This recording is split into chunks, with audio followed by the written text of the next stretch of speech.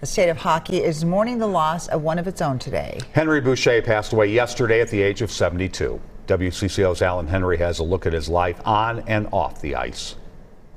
Warroad, Minnesota is known as Hockeytown, USA. One reason for that, it's the hometown of Henry Boucha. My uh, older brothers and sisters came in the house because they needed a goalie, and my mother dressed me up and, and uh, sent me out there, and I stood in goal, and I came in the house all welted up, black and blue, and uh, but I enjoyed the heck out of myself. Boucha went on to lead the Warriors to the 1969 state championship, a close game the team lost, but a hockey star was born. When when Henry was on the ice and when he had the puck, it was different. It was, you know, people would kind of just hold their breath and and stand in their seats and and kind of just watch uh, on, you know, what's he going to do now. Boucha's pro career started in Detroit, winning a silver medal in the 72 Winter Olympics. As a youngster, of course, uh, was 19, I think just turning 20 was uh, was uh, probably the best hockey player that we had on the club that year.